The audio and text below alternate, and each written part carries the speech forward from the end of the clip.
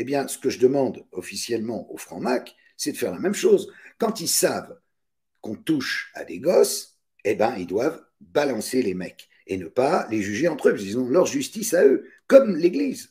C'est très proche. Donc, cette opération-là, main propre, ils doivent la faire maintenant.